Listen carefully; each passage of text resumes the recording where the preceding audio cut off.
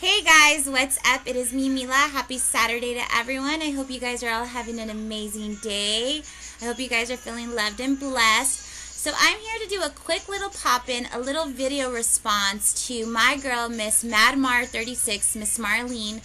For those of you that are not subscribed to Marlene, Marlene made a video talking about haters and how she experienced that um, as she was at work. A coworker of hers made a very public, not so nice comment about how she was looking too thin and how she needed to stop losing weight. And so, Mama, I wanted to kind of chime in and I was going to leave you a comment and then I figured that I would just send you a little quick video response because there wouldn't be enough room. So I'm going to make a quick little video response. I'm on my way to my 10-year high school reunion um, committee meeting. And so um, I just want to take some time really quick. So I just wanted to tell you that I can completely relate to what you're saying. Um, the haters that come along with the journey, it's unreal. And they come from everywhere. People that you haven't even talked to in God knows how long just start coming out of the woodworks and seem um, to have a comment about every single thing that you're doing and every single aspect of this journey. And so I just wanted to tell you that I completely relate to what you're saying. Um, and an example of that is there's a girl at work who, bless her heart, she probably weighs 400 pounds. Um, and I say that because I was almost 300 pounds and she's a lot bigger than me. And so she may be more, she may be a tad bit less, but she's probably 400 pounds.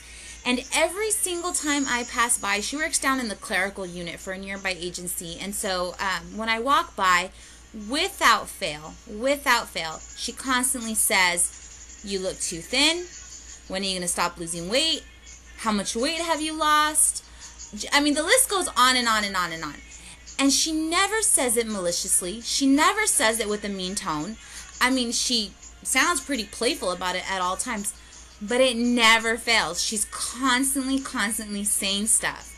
And, um, it took me a while to kind of realize what was going on because I'm so oblivious. I really, really am. I'm so oblivious to stuff. You know, you get so many comments from people left and right, so you just it's kind of hard to to you know filter them out. But I finally realized like she's hating on me, and she's doing it in her own subtle way.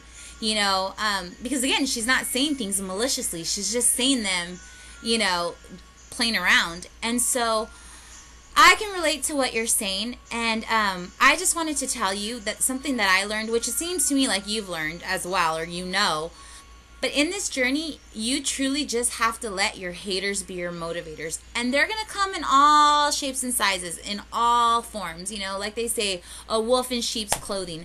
I have people at work that are constantly inviting me out to eat. People that are leaving me chocolates on my desk, um, you know, or sweet little candies or, or things like that. And in the beginning, I thought it was super sweet. And then it's like, no, you're doing it for a reason. And so I had to learn the hard way. I really, really did. That not everybody is going to be happy for me. Not everybody is going to um, have good intentions. And even though they're not being malicious, somehow, some way, they're hating on me, and they're it's they're trying to sabotage you. And so, you know, shame on your coworker for for saying something to you in such a public way. Um, if she had a concern, she should have pulled you to the side and talked to you privately. So sorry about the radio. It's like way out there, and I don't want to get up and turn it off. But anyway, um, you just kind of have to let your haters be your motivators. It's the bottom line. That's the moral of my story. It seems to me like you handled it really, really well.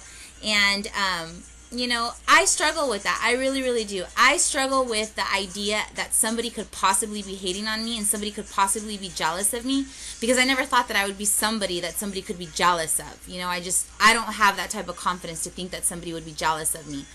But maybe it's not me that she's jealous of. Maybe it's the situation. Um, about a year ago, this gal had lost 80 pounds and she gained it all back. And so maybe she's mad at herself. You know, I don't know. And so maybe your coworker too. If she's as heavy as as you're saying that she is, she's she's hating on you. She's just jealous. And so anyway, mamita. I'm not going to take too much time. I just wanted to make a video response to tell you that kudos to you for sticking up to yourself because this was a form of being bullied. And shame on this lady for not having enough tact and enough class to pull you to the side to talk to you.